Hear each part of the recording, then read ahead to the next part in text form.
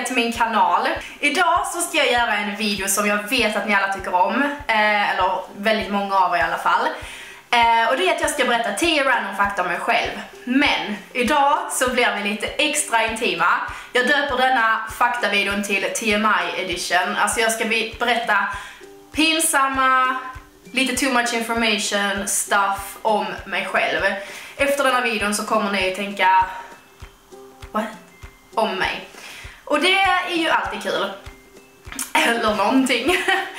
eh, så ja, i denna video ska jag helt enkelt berätta 10 random fakta om mig själv, men det blir väldigt det blir lite extra juicy fakta den här gången, så jag hoppas att ni är taggade på det. Vi sätter igång helt enkelt. Den här videon sätter vi igång med en väldigt personal fakta om mig själv. Och det är så här. Varje gång när jag går på toa, alltså när jag går på toa och gör nummer två så att säga, när jag bajsar, eh, så har jag en thing att jag måste torka mig med våtservetter. Det finns ingenting jag tycker känns så ofräscht som att bajsa och att torka sig med vanligt toapapper efter. Och jag vet att alltså 90% av befolkningen torkar sig med vanligt toapapper när de har gjort nummer två.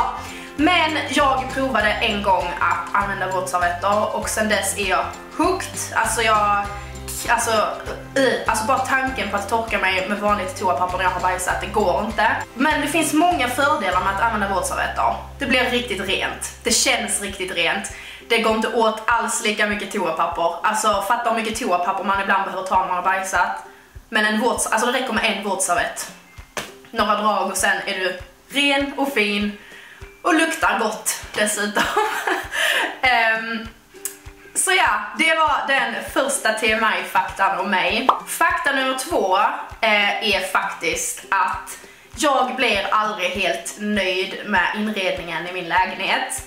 Um, jag vet att många av er tycker om min lägenhet. Jag får ofta höra din lägenhet är goals, alltså det är så fint hemma hos dig. Och jag blir så glad och jätteofta när folk kommer hem till mig och ser min lägenhet första gången så säger de men gud vad fint du har det. Och jag är överlag nöjd men jag blir aldrig helt så här.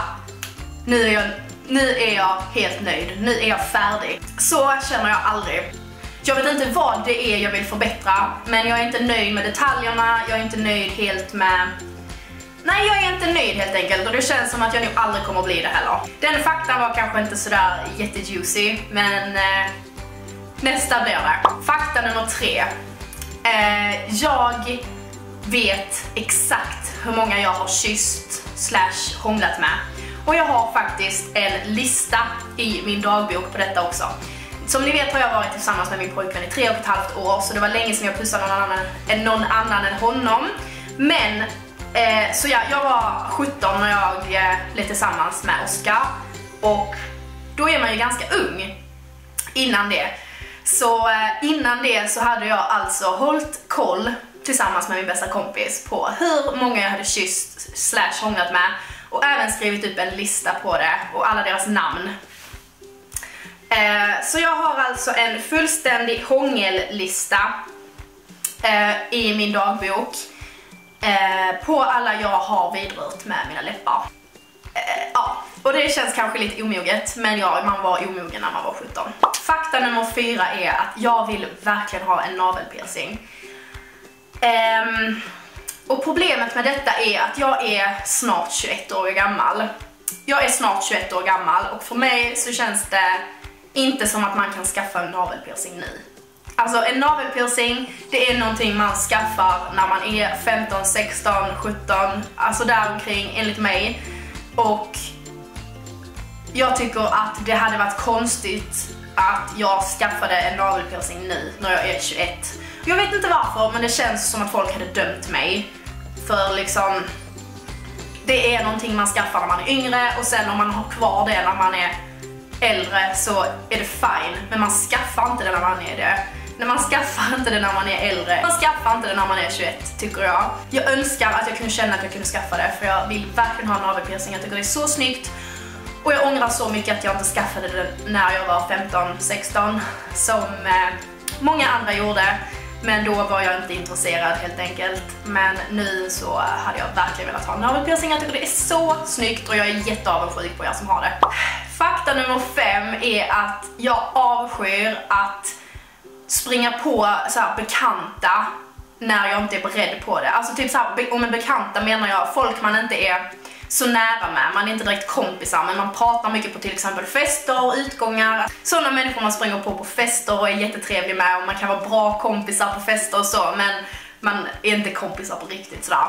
Jag eh, avskyr att springa på sådana människor när jag inte är beredd på det, ute på gatan eller att springa på dem på ICA när jag är ofixad, osminkad och allmänt inte fin. Avskyr att springa på bekanta och eh, om jag ser en bekant på affären när jag inte är beredd på att träffa någon och den inte har sett mig än, då går jag en omväg i affären för att slippa prata med den. Sån är jag. Fakta nummer 6. När jag var yngre, runt 15 till 18 år gammal ungefär, så var jag besatt av att smsa med folk. Och jag menar inte så att Alltså jag, men, jag menar på det sättet att jag var besatt att om inte jag hade smsat med hur, alltså helst över 10 personer på en dag, då var jag nöjd liksom. Om jag hade smsat med fler än 10, då var jag nöjd. Men om jag där på kvällen scrollade igenom mina meddelanden och insåg, idag har jag bara smsat med en person. Då kunde jag gå in och skriva till folk bara för att komma upp i det här antalet. Eh, jag vet inte varför. Det handlar om att om jag bara hade smsat med två personer på slutet av en dag så kände jag bara, men gud vad jag är misslyckad. Har jag inga vänner eller? Så då gick jag in och eh, skrev till folk bara för att ha smsat med många människor på en dag, fattar ni? En dag, alltså jag, och det handlar ju om att man smsar, jag bara skrev till massa folk på en gång. Hej, hur, vad gör du? Hur mår du? Och bara, alltså så. Och sen kunde jag ha smsat med upp till 15 personer på en dag och då kändes det liksom yes, I'm on top of the world, typ så. Och det var jätte, jättetöntigt och jag skäms när jag berättar detta, alltså det är ju så himla, himla töntigt för på vilket sätt är det viktigt att ha smsat med många människor? Jag smsar knappt med någon nu för tiden. Fakta nummer sju är att jag kan bli riktigt, riktigt irriterad på människor som har roligt ifall jag själv inte är med på det. Alltså ifall vi umgås många människor och så sitter det ett gäng där borta och asgarvar och har skitkul så kan jag bara Håll käften, fan vad jobbiga ni är, alltså så. Bara för att jag inte är med där borta och har hängt med på det roliga, fattar ni? Det är lite egoistiskt att vara så, men jag kan inte hjälpa det. Ifall jag själv är med och har skitkul, då är det liksom fine. Men ifall några andra sitter där borta och har askul och asgarvar och jag sitter och gör något annat och bara inte vet vad de skrattar åt så kan jag bli riktigt, riktigt irriterad. Jag, vill, jag blir liksom såhär Sluta! Fakta nummer åtta är att jag sover i princip alltid naken. Alltid. Ibland så sover jag med trosor, men för det mesta helt komplett nude, helt naken. Det är det bästa som finns och eh, jag avskyr att sova med kläder. Det är så obekvämt, det är jobbigt, de bara åker runt och lägger sig obekvämt. Nej, nej. Naken är bra. Jag älskar att sova naken, det är det bästa som finns. Och jag avskyr ibland att sova borta hos folk man inte är sådär jättenära för då måste man ha kläder på sig och det är ju asjobbigt. Fakta nummer 9. Den kroppsdel på människor som jag tycker allra, allra bäst om, det är magen. Jag vet inte varför, men jag tycker magen är en så himla, himla fin kroppsdel på de flesta. alltså, om jag fick ändra någonting på mig själv så är det min mage. Om det är någonting jag skulle vilja ha, en riktigt, alltså något riktigt snyggt jag skulle ha så är det att jag skulle ha en snygg mage. Och det är där navelpiercingen kommer in också, för det är så snyggt på en mage. Jag älskar magar. Jag tycker magar är så fina.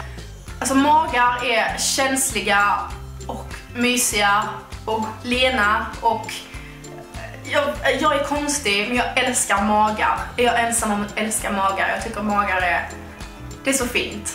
Nu låter det som att jag har en magfetisch eller någonting, men det har jag verkligen inte, utan jag tycker bara det är en väldigt, väldigt fin kroppsdel. Jag tycker ryggar tycker jag också är väldigt, väldigt fina. Alltså en rygg, ryggtavla kan vara riktigt, riktigt fint. Men magen, den slår ryggen. Jag tycker magar är så fina. Och den tionde och sista faktan är att när jag var yngre så var jag extremt hypokondrisk. Och ni som inte vet vad en hypokondriker är, det är att man tror att man är sjuk hela tiden. Man tror det värsta om hälsan hela tiden. Ser du en liten prick på din hud så tror du att det är hudcancer. Alltså jag var, jag minns ett tillfälle speciellt. Eh, jag tror jag gick i femman eller någonting och jag var hemma hos en kompis. Och jag satt så här och kliade mig och så upptäckte jag att jag hade en knyta här. Jag har kvar den fortfarande, jag kan känna den nu. Det är en fettknyta, för jag kan flytta runt den och den har varit där nu sen, alltså i flera, flera, flera år. Men jag upptäckte den för första gången i femman och jag blev livrädd. Jag gick in på toa och jag kunde inte sluta känna. Jag började stö alltså störtböla hos min kompis inne på toaletten för mig själv samtidigt som jag kände och tänkte nu kommer jag dö. Jag har cancer. Jag har en tumör. Jag kommer dö, typ. Jag var extremt hypokondrisk och jag var livrädd. Livrädd för cancer. Jag trodde allting var cancer. För er som inte vet så går cancer ganska mycket i min familj. Min pappa dog av cancer, min eh, 13-åriga kusin dog av cancer, min mormor har cancer, min farmor har haft cancer, min farfar har haft cancer, min faster har haft cancer. Ja, cancer går ganska mycket i min släkt och när jag var yngre så var jag livrädd för det. Det var ja, fy. Riktig fobi kan man säga nästan. Um, för det var det min hypokondri, min hypokondri, alltså där, den hypokondriska delen av mig handlade mest om cancer. Jag trodde allting var cancer och jag var livrädd för det. Och jag fick panik, började störtböla, tänkte inte på något annat. Ja.